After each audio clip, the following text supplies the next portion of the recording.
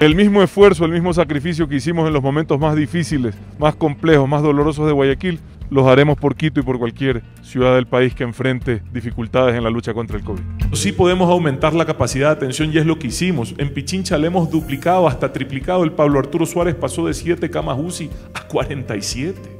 Tenemos 250 camas UCI al servicio de los quiteños y de los ciudadanos de la provincia de Pichincha. En este momento, cuando teníamos algo así como 100. Agradecerle al prefecto, al alcalde por el trabajo conjunto que estamos haciendo aquí. Han puesto maquinaria al servicio de la ciudadanía como tiene que ser, lo mismo ha hecho el Ministerio de Transporte y Obras Públicas, para en el transcurso del día de hoy, más tardar el día de mañana, poder ya habilitar temporalmente la, la conectividad de la ciudad.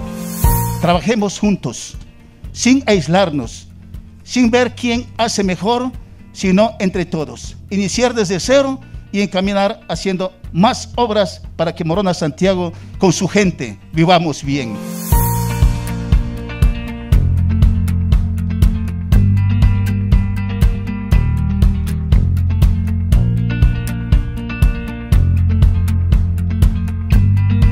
El gobierno de todos.